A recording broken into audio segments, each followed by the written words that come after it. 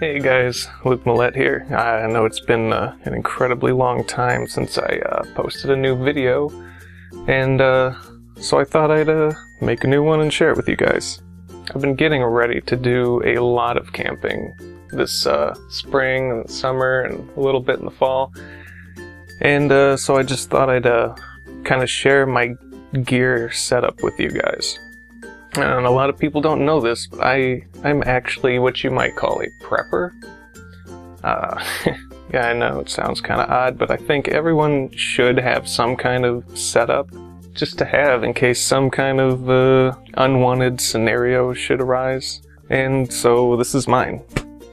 Uh, I spent like the last six or seven months buying all this stuff and putting it together. And I almost just went ahead and bought one of those like pre-made ones, but they're really overpriced and they just come with garbage. So if you're, you know, if you want to go on camping trips or if you're a prepper and you just want to have something to uh, make sure that you can survive for a while, I would say build it yourself. Uh, I love it. Completely personalized and customized for me. And uh, we're going to talk about everything about this, including uh, the bag itself. Well, I guess what we're going to do is we're going to take off all of these things off the sides first and then talk about everything individually, and then we're going to dive inside and see what we got. As I mentioned, this is more of a camping bag than a survival or bug out bag, but uh, they kind of serve the same purpose if you think about it. So this is my sleeping bag. It's just a regular Coleman sleeping bag that I got at Target, I think, for like 25 bucks.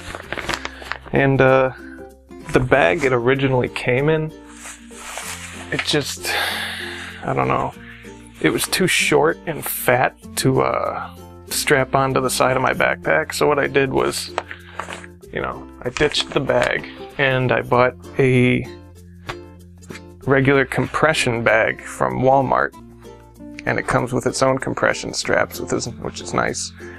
And so that allowed me to uh, kind of stretch it out a bit and make it a little more strappable.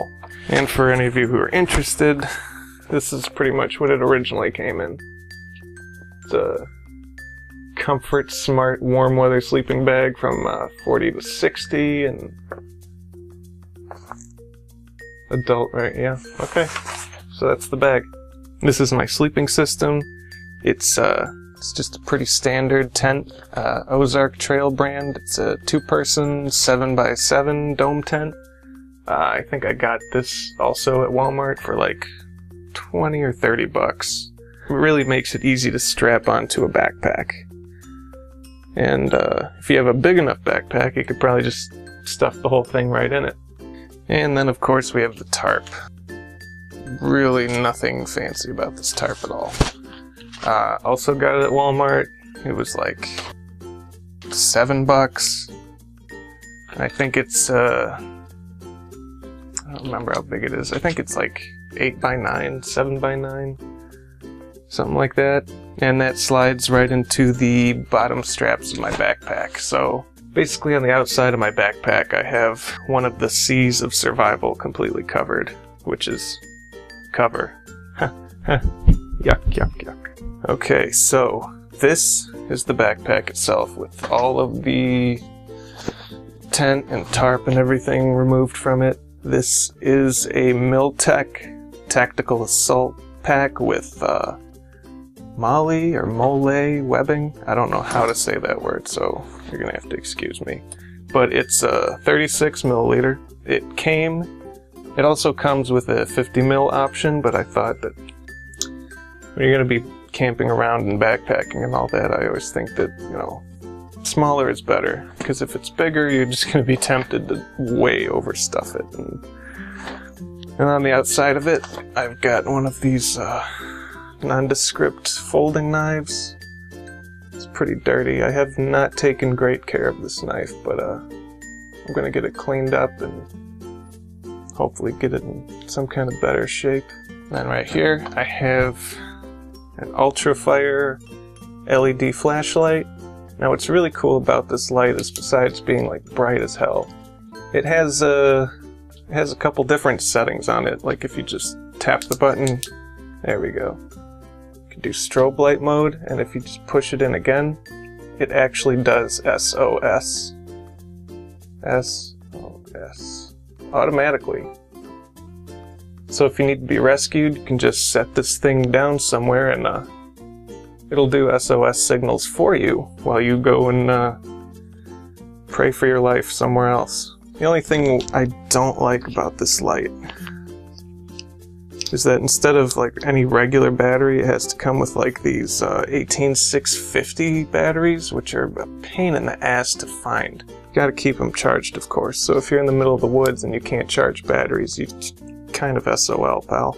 And then right here on the front of the pack, we have a Scout Pack. What's a Scout Pack, you ask? Well, it's basically just a stripped down, simplified version of the big pack.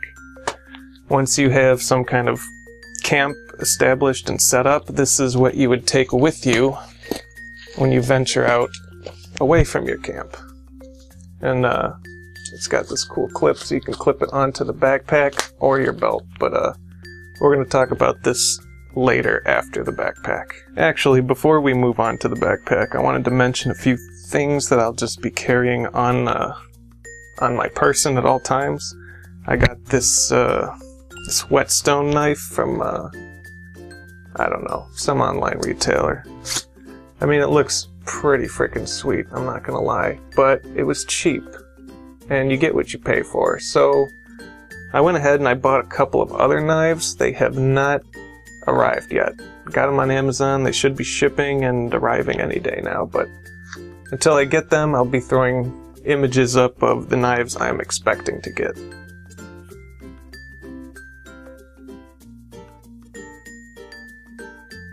The sheath is pretty cheap. Got plastic and but it does come with a little sharpening stone, which is nice, but I don't know how to use the sharpening stone too well, so I don't want to damage the knife by using it incorrectly, so maybe someone out there can tell me how to use it. The thing that I like about this knife, though, is uh, it's not full tang, which is a problem, so I'm afraid that the blade might break at the handle someday, but it's got a hollowed out base, just like Rambo, yeah. Button compass, not sure how reliable it is, but any compass is better than no compass. And you got this pull-out tube. In this tube, what did they give you? Oh, I went ahead and stuffed cotton balls in them for tinder or for first aid. Cotton balls, only a million uses in the woods. Now this came with the the tube. I didn't put anything else in here. It came with the like five matches, some fishing line, a fishing hook, which is kind of nice. You can do some fishing, and a striker pad for the matches. And it came with a band-aid in it, a very sorry excuse of a band-aid, so I, I took that out. And as I said, I don't entirely trust my life with this knife. If I'm out in the middle of the woods and this thing breaks on me, I'm kind of uh, kind of in between a rock and a hard place. So another thing I'm gonna always have on me is the uh, the Bear Grylls uh, Fire Striker. This thing is amazing. People don't always like these Bear Grylls products, but uh, they're from Gerber and they're actually very high quality, durable stuff. I mean, this thing will make a huge shower of sparks, and it's it's kind of incredible. It also came with a uh, lanyard and a whistle on it, but it that just got in the way, so I went ahead and cut it off. And then in the base it has a waterproof seal. I still left a little bit of cord on it, just to pop it off. And in the bottom I have more cotton balls for tinder. And then I also have a nice pair of uh, polyurethane coated gloves, or uh, what do they call them? Gorilla Grip gloves. You can get these at Home Depot for like five bucks. And it just makes handling things that might be sharp or wet or hot just a little bit easier to uh, handle so you don't hurt yourself. Uh, about the backpack itself, like I said, it's a uh, it's by Mil-Tec. I don't know like the model number anything like that. It's just, I got it on Amazon. It's just branded as Mil-Tec Tactical Assault Pack with the Mole webbing. And will someone please correct me if I'm saying that word completely wrong? It's a very spacious bag. It's got mole webbing all down the side, all over the front. It has uh, two pockets in the front, small and medium, and then it has two larger compartments, which zip all the way down to the bottom, which uh, I loved that because you can basically open it like a big sandwich, and you don't have to go digging for things at the bottom. And I really like that it has these these uh, compression loops on the bottom and on both sides, which allowed me to strap the sleeping bag, the tent, and the tarp all on the outside. so now we're going to actually get into the bag. And we're going to start with this smaller, no, the medium outer pocket. So in this pocket I keep about four deep woods off uh, towelettes unscented because uh, I didn't want to carry around one of those spray bottles because those uh, made out of you know plastic or metal they can get a little heavy and they can take up a lot of room. So I went with these uh, these very thin, lightweight uh, towelette kind of things. And then uh, this is really cool. I actually just got this today at a at an antique store of all places. It's a old can of uh, shoe polish, I believe but I will be using it as a char cloth tin. Son of a, there we go. So yeah, it's a just a tin can, but uh, I need to poke a hole in the top of it. So what the idea is, you stuff this thing full of cotton, like an old t-shirt or a bandana or something like that, and then you just kind of throw it in the fire, and it makes a good amount of char cloth. I've never done that before, so uh, Maybe you guys will see me do that in a future video, but char cloth tin. Big industrial sized bag of cotton balls. Like I said, these things have infinite uses, and also in here I have some uh, some latex gloves for uh, for first aid, but also if you plan on going fishing or hunting or trapping animals, it's good. It's just a good idea to have latex gloves to uh, keep your scent off of the bait as much as possible. Got your Buffalo Wild Wings moist towelettes for when you have too many chicken wings.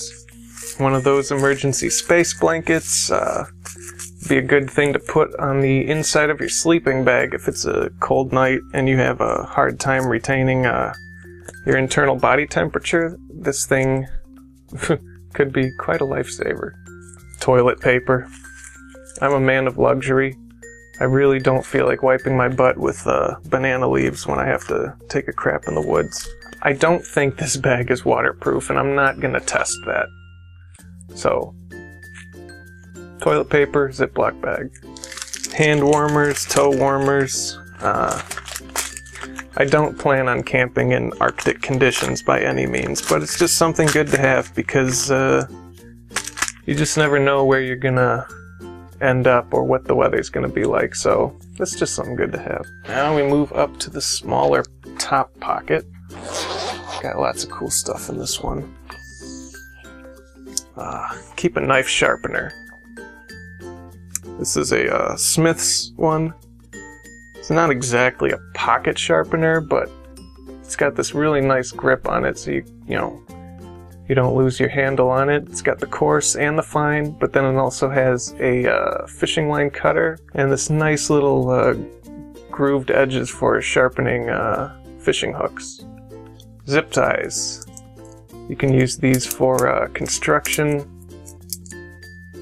or things that you need to keep secured.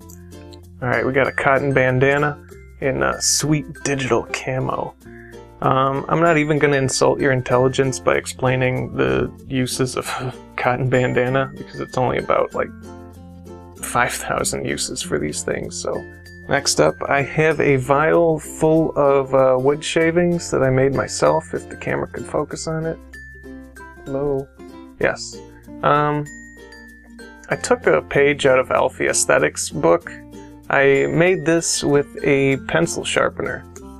Just, uh, you know, make a t- get a stick, get a pencil sharpener, and just make a bunch of uh, tinder shavings in case you, for whatever reason, can't find any.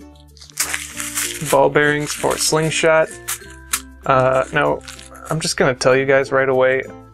One thing you're gonna see missing from my bag is a gun, and I do not plan on having a gun. So, for all the people who are planning on saying, "Oh, you're missing a gun. Where, where are all your guns and bullets?" Just save your breath, because I'm not. I'm not about to go through the trouble of obtaining permits and licenses and uh, training for pistols and all that. I'm just not a gun guy, so I go with the slingshot. Different strokes for different folks. Bear Grylls Pocket Survival Guide. This comes with everything that he makes. So I have like t- 10 of these in my kit. And, you know, it's, it's waterproof. It's a pretty good guide. It tells you how to make fire and shelter and how to call down rescue and all that. But, uh, I don't see myself getting in that much trouble just going camping, but it's good to have. Tent pegs. Uh, the tent that I have comes with pegs, but these could, uh, another page from uh, Alfie Aesthetics. You can use these tent pegs to keep a like a you know a surface for cooking on. You can use the tent pegs as stands and then lay a kind of uh, wire mesh over top of it so you can uh, cook your food. Got a roll of duct tape. Um, I've seen a lot of these bags where people just throw in an entire roll of duct tape and that just takes up way too much weight and space in your bag. So this is just like a six or seven foot strip of it I wrapped around a uh, piece of cardboard and duct tape, man. Infinite uses. You can use it for first aid if you don't have any of those uh, gauze bandages. You can use it for repairing your tent, or you can use it for uh, taping over your girlfriend's mouth if she won't shut up. Aluminum foil of varying sizes. Um, you can use this for cooking. You know, if you catch a trout or a fish or whatever, you could just wrap it up in one of these things and just throw that sucker right in the fire. And uh, you can also bundle these up and use it to uh, clean your cooking pots and stuff. Now, as I mentioned about the flashlight that I have, it's a pain in the butt trying to find these batteries, so I went ahead and just bought them in a bulk. They're all fully charged, and so I'm hoping that they'll last me a while until they all eventually die and then I'm without light. And a very teeny tiny, sorry little bundle of paracord. Okay, so that is it for this uh, this top small flap, and now we're gonna start cracking into the bigger pouches. Okay, so in this first pouch of the larger size, this is where I keep all of my food supply. Gotta have food. It's an aluminum flask or steel flask, stainless steel. Um, it's empty right now, but uh, I plan on putting some, uh, some very fine liquor in here at some point. Because you're in the woods, you've just had a long, hard day of uh, making fires and shelter building and all that, and you're gonna want something to take the edge off at the end of the day. Got a bag of beef jerky, original, yum. And I am a huge fan of Mountain House, so I keep a ton of these things around. Mountain House, you can't go wrong. So here we have uh, scrambled eggs with bacon. This is this is a very new flavor that I was super excited about. Biscuits and gravy. And then this is a new thing that uh, I've never seen on a Mountain House bag before. On the bottom, they started putting these like survival tips. Stop. Stop, think, observe, and plan. Every little thing is gonna be alright. Ain't that the truth? Chili mac with beef. I have not had this one yet, but I hear good things. And the classic beef stroganoff with noodles. This is the first Mountain House bag that I've ever had, and it was one of the greatest things I've ever had in my life. So I have a ton of these in my food storage. We have a jar of crunchy peanut butter. Uh, peanut butter in general is just a good survival food because it's loaded with calories. So if you're like really hard up for food, peanut butter can go a long way. So I always keep a jar of this in my bag. I think it's pretty much required that everyone has a bag of uh, ramen instant noodles in their uh, campout bag. And this is my coffee kit. Uh, I got these little plastic bottles at uh, Walmart. Came in like a huge pack, so you can uh, put a bunch of different things in a bunch of different containers. And here I have my freeze-dried instant coffee, creamer for the coffee, and then sugar for the coffee. And then finally, I got uh, you know, one of these camping things. It comes with a spoon, a knife, and a fork, and a bottle opener for when you've had a really hard day and you just need that bottle of wine. Okay, so I just had to take a quick break, uh, take the dog out for a walk. and of course, the bag I used to pick up her feces had a nice big hole in it, so you can imagine the debacle that that situation quickly became. I think I'm suffering from post traumatic poop disorder, but the show must go on. So, back to the bag.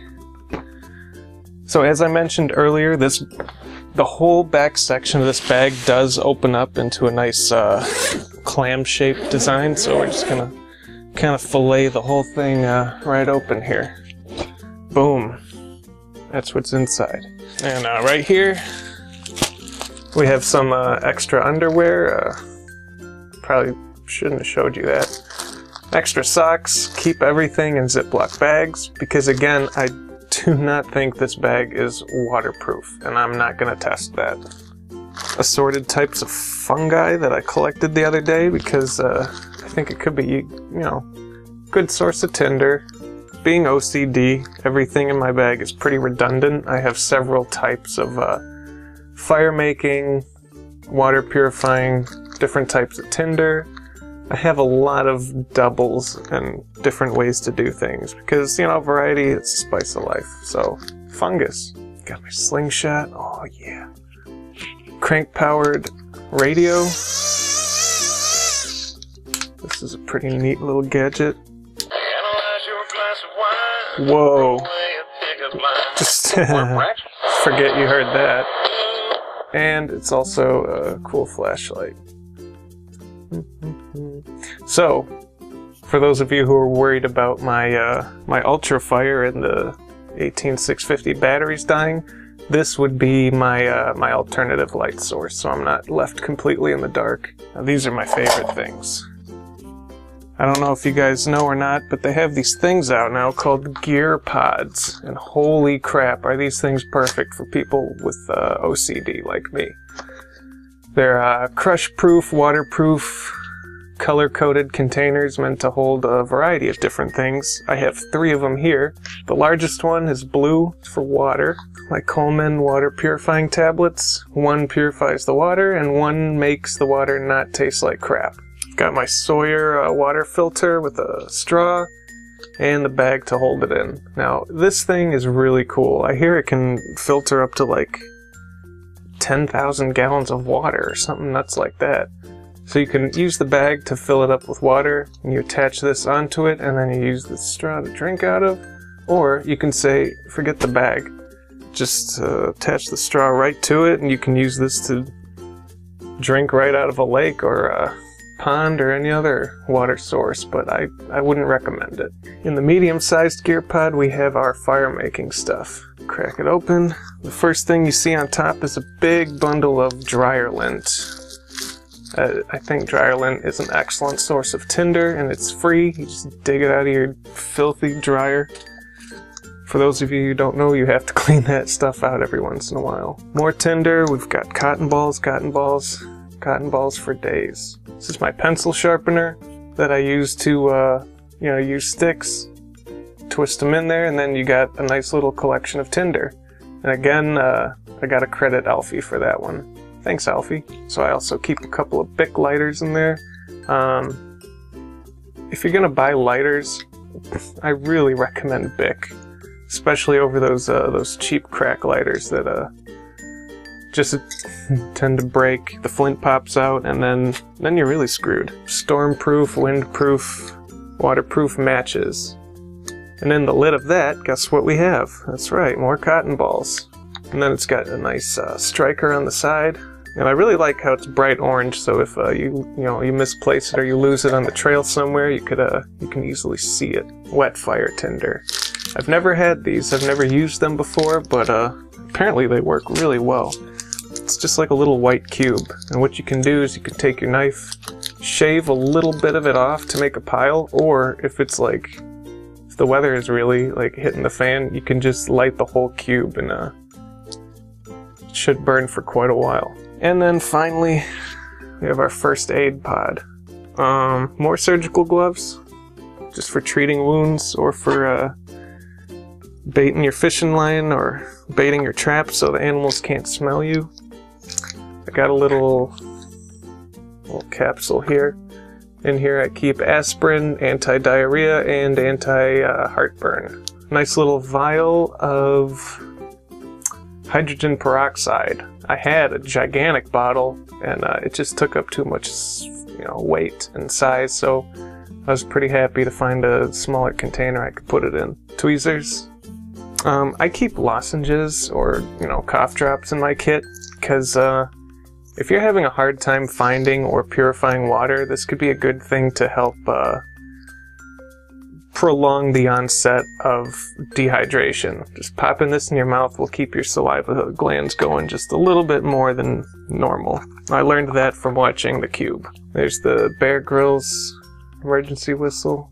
This, yeah, this came on the Fire Striker, and that was just, that was bugging the crap out of me, so I cut that thing right off. And then in here, we got a bunch of band-aids of varying sizes, some moleskin, some uh, insect itch cream, burn cream, all kinds of creams, stuff like that. That's basically what's in my first aid kit. So yeah, now we're getting towards the bottom of the bag here. Stainless steel water bottle. This thing is awesome for uh, boiling water and purifying it and using it for cooking. The lid just comes off like that. Now, I had the heck of a time trying to make a bale wire for this thing. So I was watching some videos on YouTube on how this could be done a little easier, and I found the most helpful video by like some, you know, 11, 12 year old kid, you know, taught me this. He said to just get like a, uh, you know, wire hanger and twist it around a rod, and then to bend the ends. So what you can do, just put the ends in there, boom, you got like a, a handle. But then I tested it with, uh, I filled this completely full of water and this thing just popped right out. So what I did was I painstakingly drilled some holes in the side so that these, the hooks on this hanger actually just go right through those holes. There. Now that provides a much more secure handle. It's completely full of water. That handle isn't going anywhere. And then of course the loop is for using a stick to carry it off the fire. In addition to a stainless steel water bottle, I think it's good to just have a regular plastic one for cold regular drinking water. It's got a spout. And then uh, it also measures how many milliliters of water you have. Gotta have the paracord, right? So I've got this gigantic braided mess of a 510 paracord. Again, this is something that I guess everyone should have. It only has about 1,500,000 uses. But I'm going to be completely honest with you. With the kind of camping I'm going to be doing, I, I don't see myself using this at all, really. But better have it not need it than need it and not have it. I got some uh, trash bags here. Mostly for, uh, you know, collecting, you know, trash. I'm going to be making a lot of trash, I think, and I don't like litter bugs, so I like to keep all my trash nice and uh, bagged up so I can throw it away later. Oh yeah, my Coleman hatchet. Just sharpened this thing the other day, so it's got a pretty fine edge on it. And then it also has a notch for removing uh, tent pegs right out of the ground. And you could also use the back of it as a hammer. So multiple uses for one item is always a it's always a good thing to keep in mind. Binoculars for uh, spying on the other campers in the area. Gotta know what everyone else is doing, right? And then we have our cup. Stainless steel cup. In there is a measuring cup. And then in there multi-spice. I don't know about you guys, but I, I enjoy food. I want it to taste good. Now, why measuring cup? That seems a bit silly, right? Well, if you remember me mentioning earlier, I'm I'm a bit of a mountain house whore. I need my mountain house, and every single one of these bags has a completely different amount of water that they require to reconstitute properly. If you overfill it, it's going to taste like mush. If you don't fill it enough, then it's going to be a little al dente.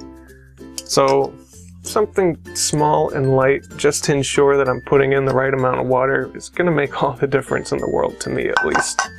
And then the cup has these cool fold out handles for making uh, coffee or boiling more water and everything just kind of slips in right together like that, so. Now I'm sure all you guys are wondering what the hell is a super MRE? This is a super MRE. I kind of invented this. It's nothing fancy. All it is is it's two MREs combined into one bag because these like these mylar bags they can actually hold a lot more than uh, what the military puts in them so what I do is I crack it open and I take another MRE and I just stuff the living crap out of it see like this menu is pork sausage with gravy and then the other one that I added to it is chili macaroni and with all of the the breads and the sides and the drinks and the desserts, that should be enough to last me 24 hours. I'm a pretty I'm a pretty small guy, but I don't know. I might need a little more than that, which is why I carry the mountain house bags too. And then finally, wire mesh. Remember those tent pegs I was talking to you about? Well, you hammer four of those into the ground and you can place this right on top of it and that'll act as a makeshift uh, grill. Okay, now there are a couple of things I neglected to put in my kit, um, you know, for law and safety reasons. But if it were a complete apocalyptic shit has hit the fan and there's chaos everywhere kind of situation, then I would also put these into my kit. Just a couple of full-sized rat traps for uh, trapping. And what I did was I screwed some uh, eye hooks in the back of it so you can use paracord to uh, attach it to a pole or a tree to prevent whatever you have trapped from uh, running for its life. but going camping, these would probably not be the best idea because people have dogs and kids running around and oh look, I don't know my finger. Okay, so Remember that scout pack that clips onto the back of the backpack I told you guys we'd be talking about separately? well, now we're going to talk about it. Now, for the scout packs, a lot of people use Maxpedition branded things or things specifically designed for this, and that's, you know, that's totally cool. I would too, if I didn't already have this. Well, what is this? Uh, it's a good question. I don't know. I found it somewhere. Uh, someone was throwing it away, and I said, well, I'm sure I could use that for something. I think it's for photographers. Yeah, I think this is something that there's, you know, that they keep spare batteries and film and flash bulbs in. And I'm like, well, it's a scout pack now. So what's the point of a scout pack? Well, scout pack is designed to be a, an incredibly stripped down, simplified version of the survival pack. Once you have a base camp established, this is the pack you would take with you on uh, a hike for foraging or just general exploring. So it's got to be small, it's got to be lightweight and portable, but still have all the necessary essentials to uh, get you out of a jam. So let's just dig into it and see what comes out. Okay, so in this front pouch, this is where I keep all my uh, first aid stuff.